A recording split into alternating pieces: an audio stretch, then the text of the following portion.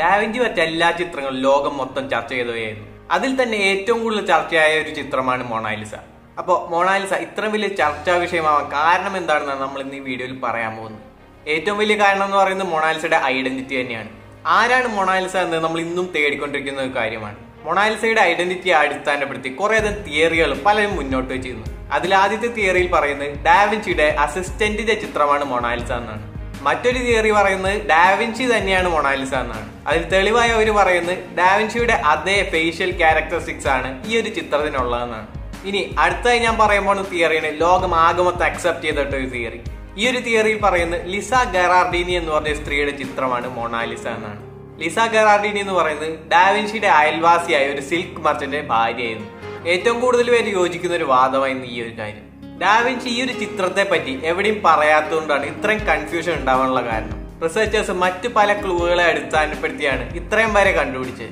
Mona Lisa Lisa Gherardini. ഈ രണ്ട് പേരുകളുടെ സാമ്യം അടിസ്ഥാനപ്പെടുത്തിയാണ് ലിസ ഗറാർഡീനി ആയിരിക്കും മൊണാലിസ എന്ന കൺക്ലൂഷനിൽ അവരെത്തിയത്.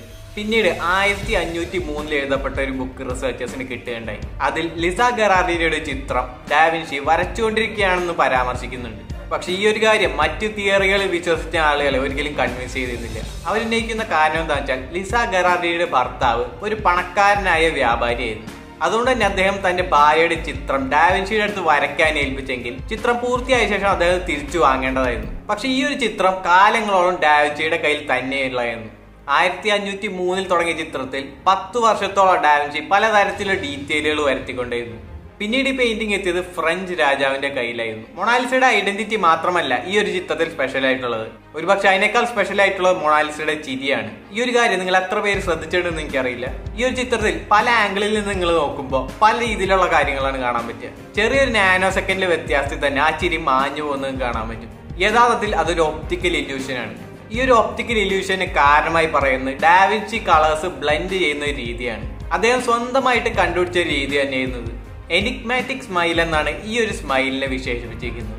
ഈ ചിത്രം വരയ്ക്കുന്ന സമയത്ത് മൊണാലിസർ ഇമോഷൻ എന്താണെന്ന് അറിയാൻ രണ്ടായിരത്തി അഞ്ചിൽ ആംസ്റ്റർഡാമിൽ വെച്ചിട്ട് ഇമോഷൻ റെക്കഗ്നിഷൻ സോഫ്റ്റ്വെയർ ഉപയോഗിച്ചിട്ട് മൊണാലിസയെ സ്കാൻ ചെയ്തിരുന്നു. അതിൽ നിന്ന് നമുക്ക് മനസ്സിലായത് എൺപത്തി മൂന്ന് ശതമാനത്തോളം ഒരു ഹാപ്പി ഫേസ് ആയിരുന്നു മൊണാലിസയുടെ എന്നാണ്. ഇനി നമ്മൾ ചിത്രത്തിന്റെ ബാക്ക്ഗ്രൗണ്ടിലേക്ക് വരികയാണെങ്കിൽ അവിടെയും പല വിചിത്രമായ കാര്യങ്ങൾ കാണാം. അതിൽ ഹ്യൂമൻസ് സ്കള്ള് മുതൽ ഏലിയൻസ് വരെ ഉൾപ്പെടുന്നു. ഇതൊക്കെ ഡാവിൻഷി മനഃപൂർവം വരച്ചാണോ നമ്മൾ ചോദിക്കുകയാണെങ്കിൽ ഇന്നും നമുക്ക് അതിന് ഉത്തരമില്ല? അടുത്തായി പ്രധാനമായി പറയുന്ന കാര്യം മൊണാലിസയുടെ ഐബ്രോസിനെ കുറിച്ചാണ്. മൊണാലിസ എന്ന ചിത്രത്തിൽ നിങ്ങൾക്ക് ഐബ്രോസ് കാണാൻ പറ്റില്ല.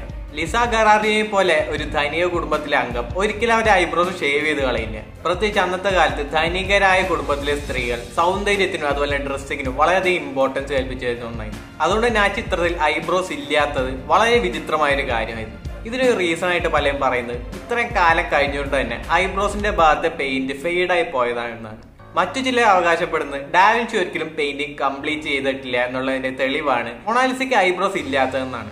മൊണാലിസ എന്ന ചിത്രം വരച്ചതിന് ശേഷം അഞ്ഞൂറ് വർഷങ്ങൾ പിന്നിട്ടിരിക്കുന്നു പക്ഷെ ഇന്നും നമുക്ക് അതിന്റെ കൃത്യമായിട്ടുള്ള കാരണങ്ങളൊന്നും കണ്ടുപിടിക്കാൻ കഴിഞ്ഞിട്ടില്ല. നമ്മളിപ്പോ പറയുന്നതൊക്കെ വെറും ഊഹങ്ങൾ മാത്രമാണ്. ഇതിന് പ്രധാനമായിട്ടുള്ള കാരണം എന്ന് ഡാവിൻഷി തന്നെ ഈ ചിത്രത്തെ കുറിച്ച് കാര്യമായിട്ടൊന്നും പറഞ്ഞിട്ടില്ല എന്നുകൊണ്ടാണ്. ഓരോ കൊല്ലം കഴിയുന്തോറും കൂടുതൽ വിചിത്രമായ കാര്യങ്ങളാണ് മൊണാലിസ എന്ന ചിത്രത്തിൽ നിന്ന് നമുക്ക് ലഭിക്കുന്നത്. അപ്പൊ ഈ ഒരു വീഡിയോയിൽ ഇത്രമാത്രമുള്ളത് വീഡിയോ ഇഷ്ടപ്പെട്ടെങ്കിൽ ലൈക്കും ഷെയറും സബ്സ്ക്രൈബ് ചെയ്യുക. മറ്റേ വീഡിയോ കാണാം.